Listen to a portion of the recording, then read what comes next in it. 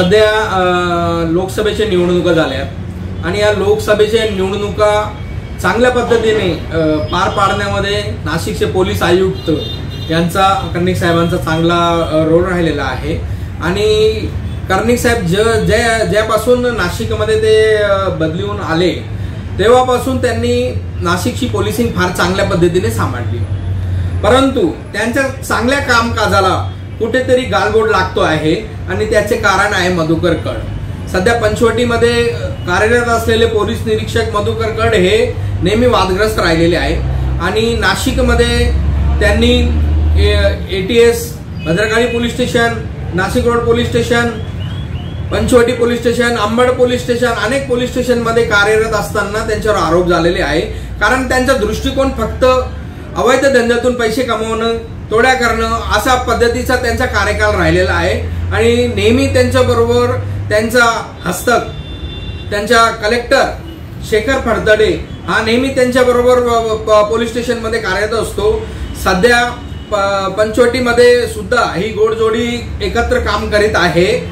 आणि शेखर फडताडे याचे सहा वर्ष सुमारे ब- पंचवटी पोलीस स्टेशनमध्ये कंप्लीट झाले होते. त्यानंतर त्यांची भद्रकाली पोलीस स्टेशनमध्ये बदली झाली. त्यानंतर आडगावमध्ये त्यांची बदली झाली. परत कड साहेब यांची नेमणूक पंचवटी पोलीस स्टेशनला नाशिकमध्ये होताच.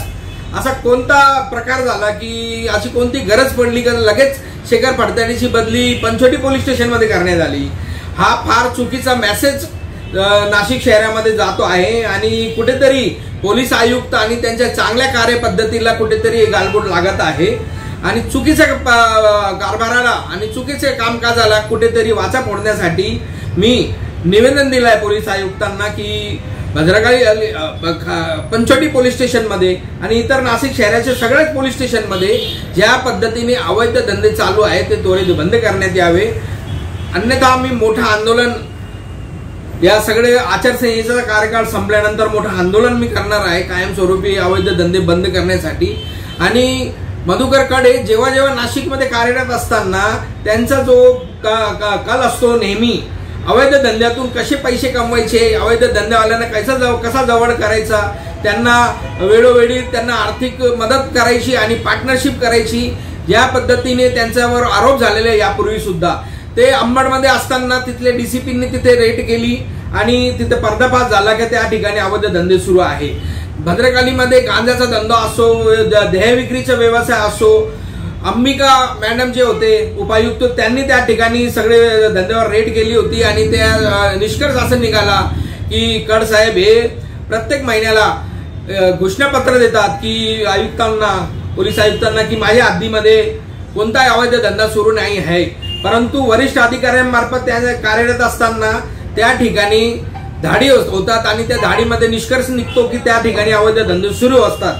म्हणजेच त्यांनी शासनाची फसवणूक केलेली आहे.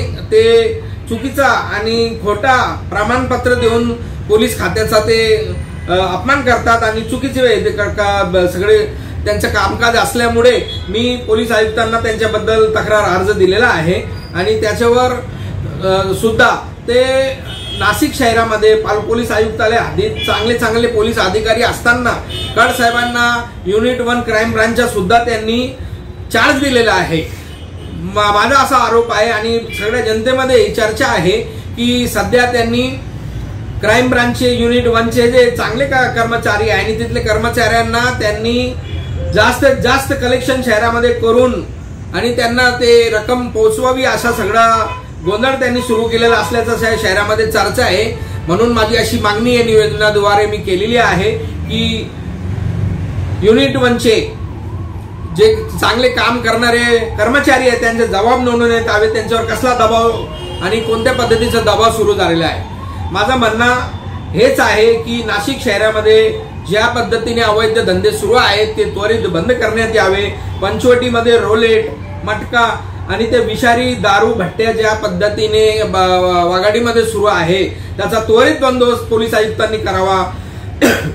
आणि सर्वात भयंकर मुद्दा एक घोडी नावाचा एक जुगार नवीन पद्धतीनं तो पासे फेकून तो एक जुगार खेळला जातो. तो ठाण्यामध्ये एक त्यांचा ओळखीचा ठाण्यामध्ये साहेब क- कडसाहेब ज्या वेळेस होते त्या ठिकाणी त्यांचा तो मित्र आहे बाबू नावाचा. त्याने घोडी नावाचा जुगार नाशिकमध्ये पंचवटीमध्ये वाघाडीमध्ये आणलेला आहे आणि ही जुगार लाखो रुपयाची खेळली जाते आणि या जुगारसाठी खेळण्यासाठी विशेष गुजरात आणि मुंबई आणि इतर शहरामधून जुगारी येत आहेत. म्हणजेच नाशिकला हा जुगाराचा आंतरराज्य अड्डा बनवण्याचा कड साहेबांचा प्रयत्न आहे आणि ते त्यांनी सुरू केलेला आहे. याला कुठेतरी पोलीस आयुक्त आणि पोलीस प्रशासनाच्या वरिष्ठांनी आळा घातला पाहिजे आणि कायमस्वरूपी या ठिकाणीचे अवैध धंदे बंद करण्यात यावे. अन्यथा मी सगळ्या नाशिकच्या आयुक्तालय हद्दीतील अवैध धंदे बंद करण्यासाठी मोर्चा आणि जन आंदोलन सुरू करेल. जय हिंद जय महाराष्ट्र.